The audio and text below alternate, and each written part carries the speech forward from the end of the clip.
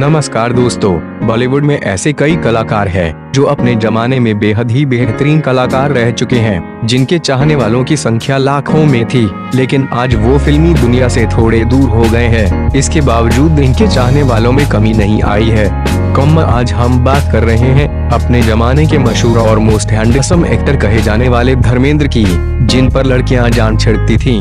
इन्होंने अपने करियर में खुद नाम कमाया और कई सारी सुपरहिट फ़िल्में भी दी हैं। रोल चाहे फ़िल्म सत्य काम के सीधे सादे ईमानदार हीरो का हो, या फ़िल्म शोले के एक्शन हीरो का हो, या फिर फ़िल्म चुपके चुपके के कॉमेडियन हीरो का, सभी को सफलता पूर्वक निभा कर दिखा देने वाले धर्मेंद्र सिंह देओल अभिनय प्रतिभा के धनी कलाकार हैं। लेकिन हैरानी की बात तो ये है कि इतना कुछ पाने व इतने बड़े एक्टर होने के बावजूद आज भी वो अपने गाँव से जुड़े हुए हैं। जी हाँ आपको बता दें कि धर्मेंद्र ने बॉलीवुड में नाम के साथ साथ खूब पैसा भी कमाया है। वहीं आपको ये भी बता दें कि धर्मेंद्र ने दो बार शादी की और अपनी दोनों पत्नियों को बनाए रखा है।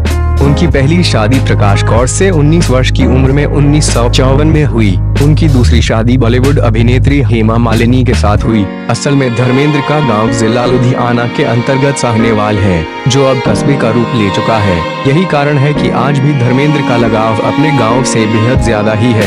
आपकी जानकारी के लिए बता दें कि फ़िल्म फेयर के एक प्रतियोगिता के दौरान अर्जुन हिंगोरानी को धर्मेंद्र पसंद आगे और हिंगोरानी जी ने अपनी फ़िल्म दिल भी तेरा, हम भी तेरे के लिए इक्यावन रूपए साइनिंग अमाउंट देकर उन्हें हीरो की भूमिका के लिए अनुबंधित कर लिया। पहली फ़िल्म में नायिका कुमकुम थी। पहली फ़िल्म से कुछ विशेष पहचान नहीं बन पाई थी।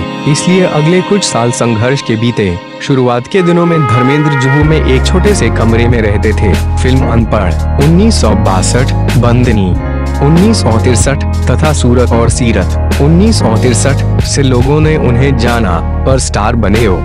पी रलहन की फ़िल्म फूल और पत्थर उन्नीस से फिर क्या था? इसके बाद धर्मेंद्र ने 200 से भी अधिक फ़िल्मों में काम किया है। वहीं आपको बता दें कि हाल ही में धर्मेंद्र की ऐसी तस्वीरें सामने आई है, जिसे देखकर हर कोई हैरान है और इन तस्वीरों की वजह से वो लगातार चर्चा में बने हुए हैं। दरअसल इन तस्वीरों में आप साफ़ साफ़ देखेंगे कि धर्मेंद्र आजकल एक गाँव के साधारण व्यक्ति की तरह ही काम करते दिख रहे हैं। इतना ही नहीं, आप इन तस्वीरों को देखेंगे तो दिखेगा कि वो गाँव में गाय का दूध निकाल रहे हैं और गाँव के एक साधारण व्यक्ति की तरह ही काम कर रहे हैं। उन्हें ऐसा देखकर कोई नहीं मान सकता है कि वो एक जमाने में इतने बड़े सुपरस्टार रह चुके हैं। बात जो भी हो, लेकिन ये तो सच है।